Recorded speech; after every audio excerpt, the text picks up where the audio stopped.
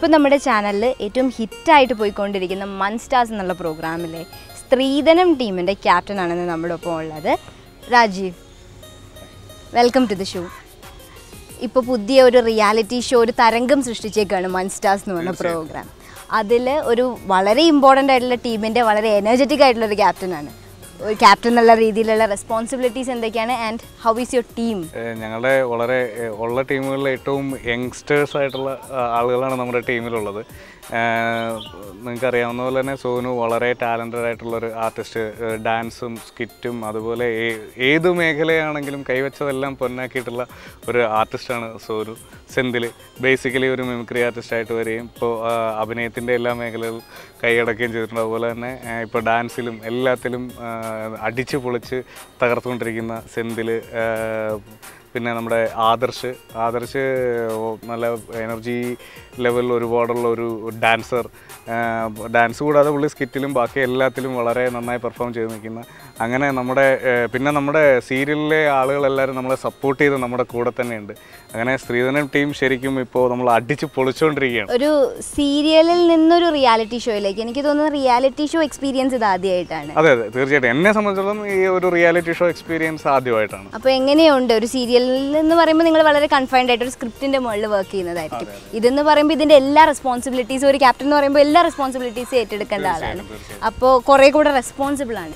അപ്പോൾ എങ്ങനെ പോകുന്നു? എന്താ ഡിഫറൻസ് ഫീൽ ചെയ്യുന്നത്? ക്യാപ്റ്റൻ എന്നുള്ള രീതിയിൽ റെസ്പോൺസിബിലിറ്റി ഉണ്ടെങ്കിലും ഇത് ഞങ്ങളെ സംബന്ധിച്ചുള്ള ഒരു ടീം വർക്കാണ് ബേസിക്കലി ചേട്ടൻ ഒരു സ്ക്രിപ്റ്റ് റൈറ്റർ ആണെന്ന് ഞാൻ കേട്ടിട്ടുണ്ട്. അസിസ്റ്റന്റ് ഡയറക്ടർ ആണെന്ന് നേരത്തെ.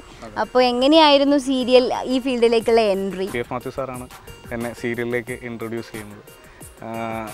അത് നമ്മുടെ ഇപ്പം ആർദ്രം ഡയറക്റ്റ് ചെയ്യുന്ന ഗിരീഷ് കോന്നിയേട്ടനാണ് അതിന്റെ സംവിധായ ആ സീരിയലിന്റെ സംവിധായകനായിരുന്നു.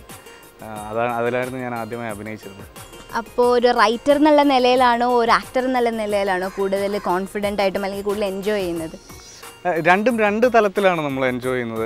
ഞാൻ വലിയൊരു വർക്കൊന്നും എഴുതിയിട്ടൊന്നുമില്ല. ചെറിയ ചെറിയ ഷോർട്ട് ഫിലിംസ് അങ്ങനെയുള്ള സംഭവങ്ങളൊക്കെ എഴുതിയിട്ടുള്ളൂ. എങ്കിലും നമ്മൾ എഴുതുമ്പോൾ നമ്മൾ എഴുത്ത് എൻജോയ് ചെയ്യും. അഭിനയിക്കുമ്പോൾ നമ്മൾ അത് എൻജോയ് ചെയ്യും. അപ്പോൾ ഒരു സിൽവർ സ്ക്രീൻ എൻട്രി അല്ലെങ്കിൽ ഒരു മൂവിയിലേക്ക് എൻട്രി ചെയ്യുമ്പോൾ ഒരു സ്ക്രിപ്റ്റ് റൈറ്റർ എന്നുള്ള നിലയിൽ എൻട്രി ചെയ്യാനാണോ? അതോ ഒരു ആക്ടർ എന്നുള്ള നിലയിൽ എസ്റ്റാബ്ലിഷ് ആവാനാണ് ഇപ്പോൾ ആഗ്രഹം? ഇതൊന്നും ഒന്നും നമ്മൾ തീരുമാനിക്കുന്ന പോലെ അല്ല കാര്യങ്ങൾ സംഭവിച്ചുകൊണ്ടിരിക്കുന്നത്. നമുക്ക് ഈശ്വരൻ തരുന്നു നമ്മളത് കൈനീട്ടി വാങ്ങിക്കുന്നു. എന്ത് കിട്ടുന്നോ അത് നമ്മൾ സ്വീകരിക്കും. അതായിരിക്കും സംഭവിക്കുക. പിന്നെ ഇപ്പോൾ പുതിയ പ്രൊജക്ട്സ് ഏതെങ്കിലും ചെയ്യുന്നുണ്ടോ? അതോ സ്ത്രീധനം തന്നെയാണ് മെയിൻ സ്ത്രീധനം. പിന്നെ നമ്മുടെ ഈ പ്രോഗ്രാം മാത്രമാണ് ഞാനിപ്പോൾ ചെയ്യുന്നത്. ഇനിയിപ്പോൾ പുതിയതായിട്ട് ഒന്നും ഇതുവരെ ഇതുവരെ നമ്മളൊന്നും പ്ലാൻ ചെയ്തിട്ടില്ല. ഫാമിലി? ഫാമിലി അച്ഛനും അമ്മയുണ്ട് ഭാര്യയും മോളും. ഒരു മോൾ മൂന്ന് വയസ്സായി. ഇപ്പോൾ മൻസ്റ്റാസിൽ നിങ്ങളുടെ ടീം ഇപ്പോൾ അടിച്ചു പൊളിച്ചുകൊണ്ടിരിക്കുകയാണെന്ന് അറിയാം ഇനിയും ഇതേ എനർജി ഈ പാക്ക് എനർജി പാക്കായിട്ട് മുന്നോട്ട് പോകാൻ സാധിക്കട്ടെ. നിങ്ങളുടെ ടീം തന്നെ വിൻ ചെയ്യാനായിട്ടുള്ള എല്ലാ ഭാവങ്ങളും നേരുന്നു. എന്താണ് നമ്മുടെ പ്രേക്ഷകരോട് പറയാനുള്ളത്? ഞങ്ങൾ എന്താ പറയുക ഒരു ഇപ്പം ഒരു വലിയ ഉത്തരവാദിത്വമാണ് ഞങ്ങളിലേക്ക് വന്നിരിക്കുന്നത്. ഞങ്ങൾ തന്ന എല്ലാ കലാവിരുന്നുകളും നിങ്ങൾ ആസ്വദിച്ച് ഞങ്ങളെ പ്രോത്സാഹിപ്പിച്ചു. ഇനിയും ഞങ്ങൾ ഒരുപാട് എഫേർട്ട് എടുത്ത് നല്ല നല്ല പരിപാടികൾ നിങ്ങൾക്കായി അവതരിപ്പിക്കുന്നുണ്ട്. അതെല്ലാം കണ്ട് ഞങ്ങളെല്ലാവരെയും അനുഗ്രഹിക്കണമെന്ന് ഞാൻ അപേക്ഷിക്കുന്നു.